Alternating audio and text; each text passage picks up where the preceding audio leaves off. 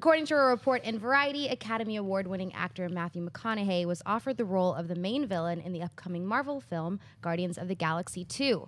However, the trade claims that McConaughey actually turned the role down, and James Gunn and company are still looking for their antagonist for the sequel. Josh, do you buy or sell Matthew McConaughey turning down the villain role for Guardians 2? Well, I think the obvious move for me right here is like look off into the distance and talk slowly about a Lincoln. but I don't. And rub rub something in your like, fingers. I'm I'm not holding anything. I don't. I would love to see him in something like this. He's never done a superhero movie. He's, I mean, the, the McConaissance is in, in full force. I- If he could bring anything to the next Guardians of the Galaxy, that would get me even more pumped to see a movie I'm already super excited to see.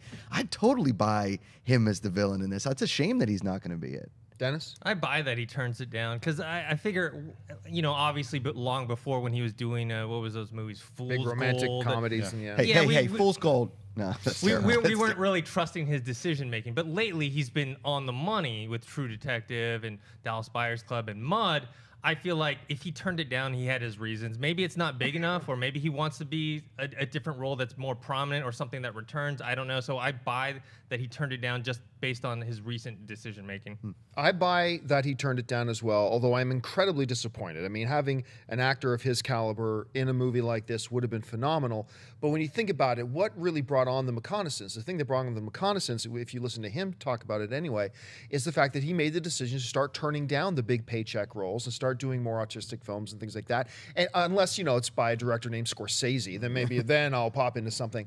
But I don't think he's done with that yet. I don't think he's done with doing those types of projects yet. And also, you cannot discount a little bit of the Joaquin Phoenix here thing too as well. Is that when you sign up with Marvel, you are signing a bit of your soul away because Marvel will not let you just sign up for one film. They're going to want you, even if they don't have plans to use you, they want you to sign a like three film deal or a four film deal, so they call upon you at any time to come back. That's probably something he's not excited to do right now. So while I would love to see him as a villain in this film, I got to agree with you, Dennis. I, I agree with his decision at this point. So wait, did I botch that? So I said buy, but I should have said I, I sell his decision. No, you said you, you said you sell it. You sold yeah, it. okay, Yeah, okay, you okay. sold it. Um, I am going to buy the decision for him uh, passing as well too, just because you. I think you nailed it with the the Marvel deal. Is that for what he's doing right now? He is going after these other roles. Now, I think that he's going to land in a big genre film because I remember. Eventually, oh, yeah. I think I and I, I think like sooner than later. I do think, but I I, I think that it's going to be something along the lines like kind of what Brad Pitt did in like a World War Z or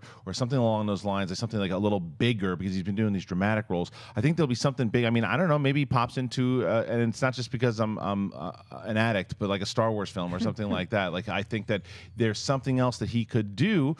And it might be a Marvel film. It could be, but maybe this was the role, like Dennis said. This just wasn't the one that he was feeling, and I respect that, and I think that that's great. And I think that that at least that they're talking, and I know Ed, they're talking to all these big type actors that should be right for the role. And if they thought McConaughey was good, then maybe they'll find somebody that that means that someone else of his caliber will be approached and hopefully will take that role. But I think we'll this is not the last we'll see of McConaughey in uh, in talks for one of these roles. And I think another thing to keep in mind too here is this: is that once you make a decision for a character in the Marvel Cinematic Universe, this isn't like Christopher Evans, who was in like a Fox superhero film and then moved over to a Marvel superhero film, even though they were all Marvel characters. Once he does that, That's he's it. done. Yeah. Yeah. And and I believe like he talked a, a while ago about. I think he would be interested at some Yeah. point being a big comic book thing.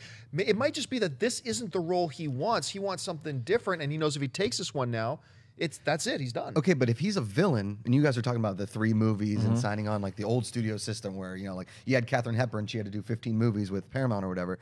If he's the villain, he's gone. He's dead. Not necessarily. Not necessarily, And, and they, I mean, look what they've done with Thanos and Loki. they Loki, Loki. They, yeah, they say, especially someone when it's some uh, Like someone's caliber of McConaughey, you want to sign him on for a bit, like because and we don't even know the Red Skull. I mean, they, they think because Hugo Weaving even signed on for more too. Yeah. we don't even know if he's going to be back or not, but he's still locked into a contract. Yeah, I mean, He, he doesn't want to come back. No, but he has to. But he said, if they make me, I'm going to have to. I mean, so it's one of those things. Hey guys, if you like this clip, click here to watch the entire episode. Also, make sure you subscribe to our YouTube channel because it'll help you stay up to date with all the stuff we've got going on here at Collider.